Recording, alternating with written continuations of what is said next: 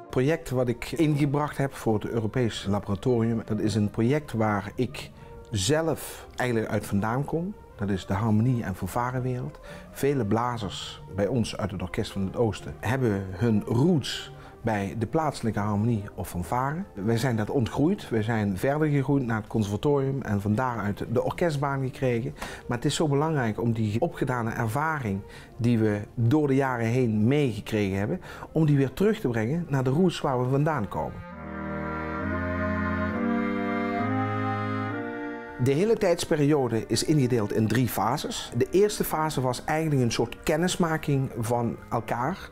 We hebben met vele collega's hebben we in Rijssen een dag georganiseerd waar collega's van mij openbare lessen hebben gegeven op één dag. Een soort open markt alles wat aan te bieden was, kon je daar bekijken of vragen stellen of zelfs workshops volgen of wat dan ook. De tweede fase is dus deze fase waar we nu in bezig zijn. De coaches, dus collega muzici uit het Orkest van het Oosten, naar de uitgekozen verenigingen gaan en daar per groep gespecialiseerd op hun eigen instrument met die amateurmuzici met hun instrument aan de slag gaan.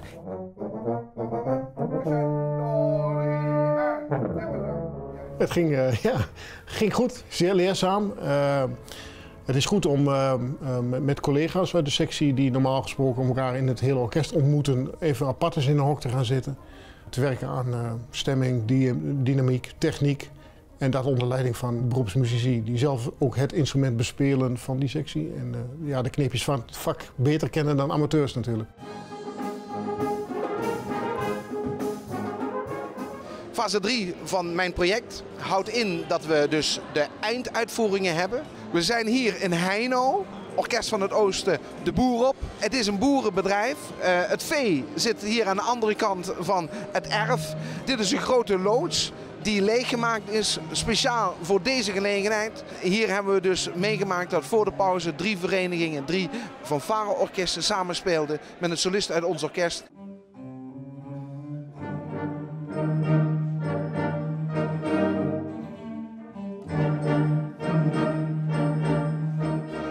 Na de pauze hebben we met het Orkest van het Oosten een programma gebracht. Met afsluitend dus een uh, gezamenlijk werk. Met alles bij elkaar als mooie apotheose van dit mooie concert.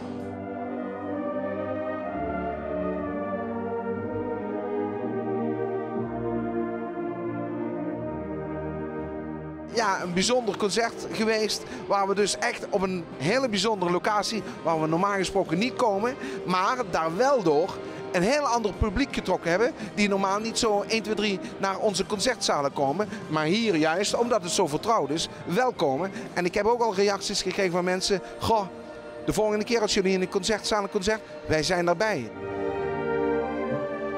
En als je dan merkt dat het op het moment suprême inderdaad uitkomt zoals je in gedachten hebt, ja, kun je alleen maar een heel tevreden mens zijn. Een heel tevreden orkestlid.